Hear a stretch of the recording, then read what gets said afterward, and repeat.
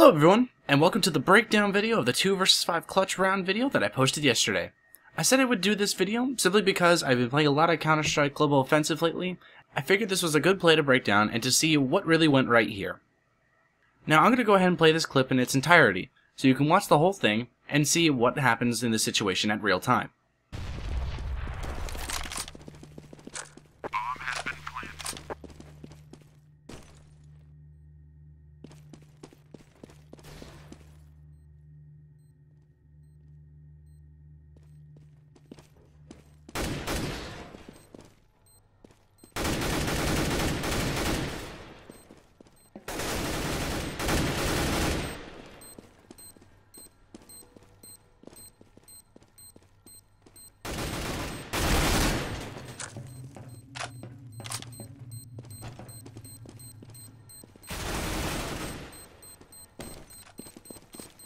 Defusing.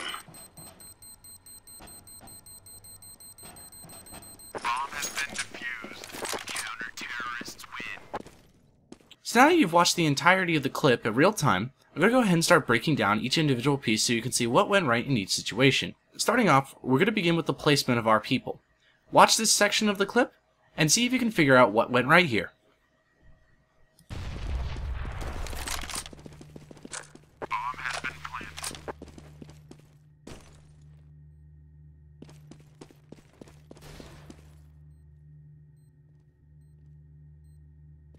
Can you figure it out? Well, what went right here is both my partner and I were positioned at two different entrances, giving them two different targets to go after and making us harder to kill in general. Now, it's such a small thing, but it helps in the long run. So now that we have established the beginning of this is correct, let's move on to the next portion.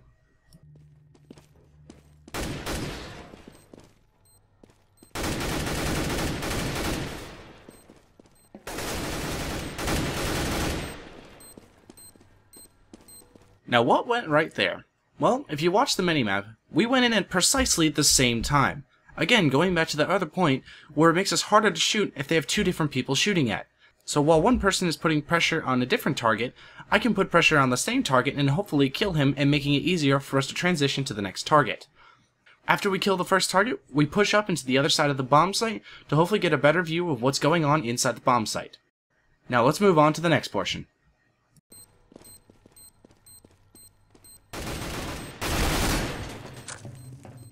Now this one should be easy to figure out. It's kind of the same as splitting your focus.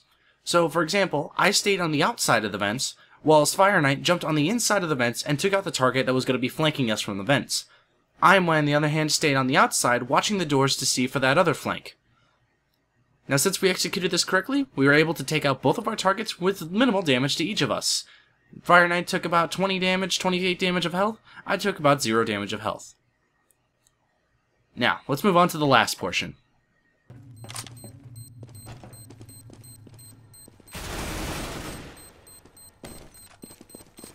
Defusing. Bomb has been defused. Counter-terrorists win. Good work, guys. Again, this is a relatively simple one to figure out.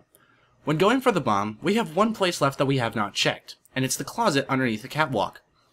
So, I jump down, being already outside, and go into the closet to check if he's there.